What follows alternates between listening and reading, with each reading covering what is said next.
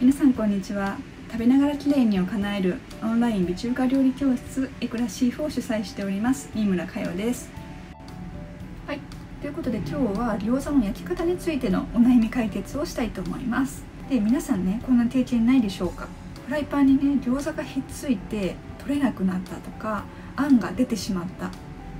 ねこれすっごい悲しいですよね。そのね原因として考えられるのがフライパンの温度が低いということです。熱蒸着というのが関係してくるんですけれども熱蒸着って何なのかってことなんですけれどもタンパク質っていうのが50度以上になると金属とひっつきやすい性質に変わります。それがだいたい70度ぐらいまで続くんですけれども、えー、最初にねあの火をつける前に餃子を並べてしまうとその熱蒸着の50度から70度っていうところにねあのゾーンにしっかり入ってしまいますんでぶりつきやすくなります。